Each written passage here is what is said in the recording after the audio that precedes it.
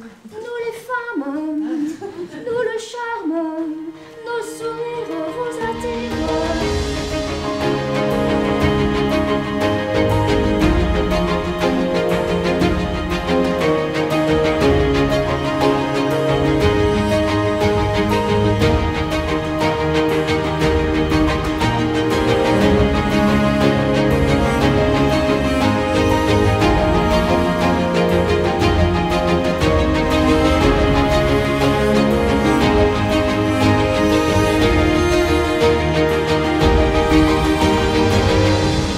Présente donc Le euh, détail qui tue.